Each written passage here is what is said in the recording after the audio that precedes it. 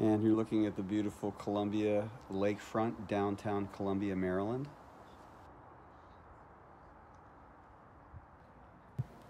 And this is my uh, former office when I used to be a writer for CA, or the Columbia Association.